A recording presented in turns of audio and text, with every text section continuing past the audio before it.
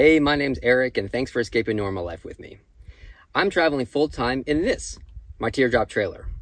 I've been living on the road for about four and a half months now, and while moving into a teardrop did take some adjustments, I have found a few ways to make it a little bit easier. So here are my five tips for living in a teardrop. Number one, organize. A teardrop is a small space, obviously. I think mine's roughly six foot by six and a half foot, something like that. So as soon as you stop organizing, it gets messy in there real quick. I just used the boxes I had at home. I had this box, and an old plastic bin, and this bin kind of became things like my medicine cabinet back here. I have pretty bad allergies, so I had to do like a sinus rinse, um, some band-aids, um, some uh, throat drops, anything like that that I needed for medicine. Um, I also keep things like my heater in here. Right now, my fan is way over there because last night was pretty hot I slept with my fan on. But usually I keep my fan in this bin with the heater. Uh, this is where I keep the pee bottle. This is where I keep some extra toilet paper. This is where I keep my RV chemicals. So this helps break down the waste inside my toilets. Um, yeah, that's kind of like a uh, storage bin.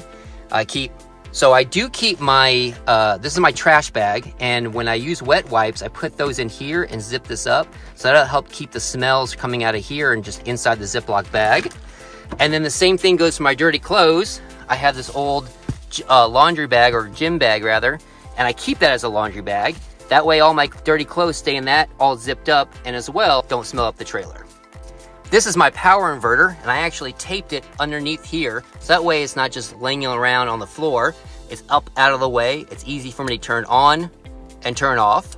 This spot is where I usually sit uh, late at night when it's gotten dark and cold.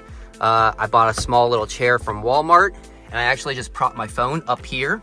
And this little hook serves as a way to put my phone on, but also as a way to hold uh, my towel after I get done taking a shower. Inside my cabinets, I actually did organize my clothes. Up here on the far left, this is where I keep kind of like all my pants, jeans. Over here, I have things like boxers, but I also have some uh, thermal things like a hat uh, when it gets cold, some pullovers, some belts. I have some socks, short shirts, shorts, everything in here. So even my closets are uh, organized. This area right when you walk in or crawl in, I guess, in a teardrop, is kind of like my toiletries. I have uh, my towel. This is where I keep uh, shampoo and face wash, mouthwash. I have some extra shampoo that someone gave me here. Just kind of toiletries. This is kind of, I guess, if you will, calling it my bathroom. My keys are always hanging up here on the hook, so it's easy for me to grab no matter where I'm at in the trailer. And that's where I put my car keys and my trailer keys at night when I go to sleep. And then over here just kind of became my nightstand, I guess. Uh, this is just a plastic bin I got at Target and it's got suction cups on it uh, that you're supposed to put in like a bathroom and supposed to stick to the wall, but they weren't sticking very well. So mine are just duct taped up there. But it's a great place for me to put my wallet at night, put my contacts when they're soaking in their case, put my glasses.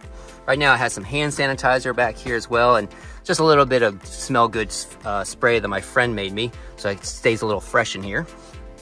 And then this is just all just extra stuff, extra contacts, extra saline solution. I think I have some USB cables in here and I have extra razors. Uh, I think I have some extra toothbrush in there. Just anything that I have that kind of extra kind of laying over gets it up out of the way. Uh, it's plenty of space for me to sleep in here. All this is is a plastic bin that you get, let's say, a Target or a Walmart. It's supposed to stay on, say, a shelf. These little plastic slide outs. I use this little bungee cord so it stays shut when I'm driving. These things don't come open. Uh, but because it's designed to stay on a countertop, I duct tape mine up there. And even though it's a little loose in the corner, it's still up there pretty well.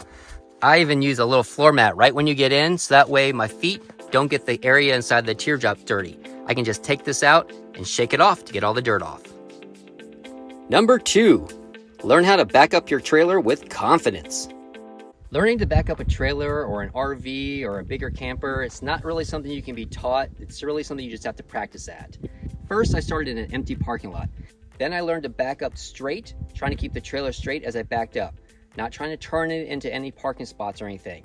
trying to get more of a feel for the camper. Then eventually I started trying to learn to back it up into a turn. So if I wanted to go into a parking space that was at a 90 degree turn, get a feel for how to make that actually happen. Which way do you want to turn the wheel when you want the camper to go a certain way? I learned real quickly it's all about small movements with the steering wheel. And when you make a bigger movement with the steering wheel, it really makes a bigger movement with the trailer. Eventually, I just started driving around neighborhoods, trying to get over, trying to get around curbs, around the sign, knowing that it'd be around other cars, but a little slower. Really, you want to use your side mirrors as much as possible. That's going to be the most helpful. The rear view mirror is really going to be looking straight at the trailer, so that's not going to be helpful. And if you have a backup camera on your car, it's going to be looking straight at the camper too. So your side mirrors are really going to be the most useful. Just keep your eye on those, make small movements with the steering wheel, and it's really not that hard. The great thing about this thing is it's so small, it's pretty much like trying to back up my car plus one. It's about the length of my car, so it's not that difficult to really back it up. Number three, scout it out. Before you get your rig into a spot you can't get out of, get out of your car and make sure you're okay to drive further. Walk up, see how good the roads are, see if they're too narrow, see if they're too rocky, see if you can turn around okay. You really don't want to be in a spot where you can't turn around.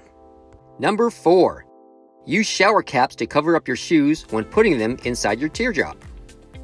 This way the inside of your teardrop stays nice and clean and you don't track any of that outside dirt in.